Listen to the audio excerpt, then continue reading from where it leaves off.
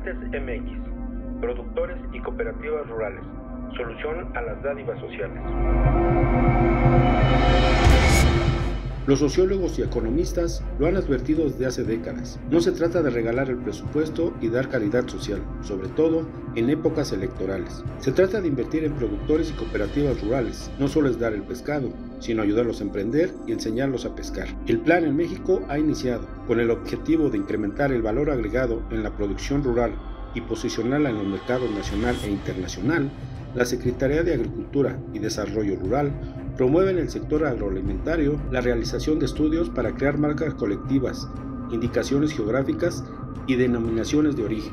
Del 25 al 28 de julio, esta Secretaría, en colaboración con el Instituto Mexicano de la Propiedad Industrial, llevó a cabo el taller sobre derechos colectivos en materia de propiedad industrial. Este esquema brindó información sobre la protección de productos a través de denominaciones de origen, indicaciones geográficas, marcas colectivas y certificación.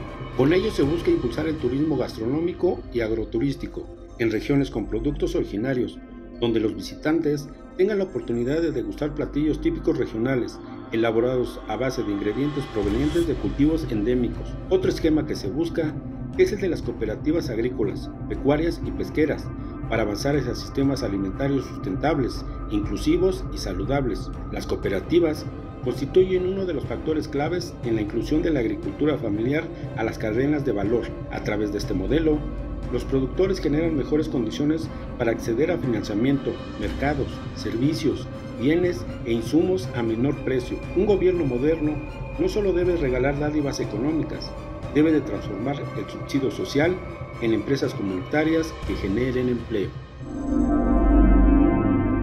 Expedientes MX productores y cooperativas rurales, solución a las dádivas sociales.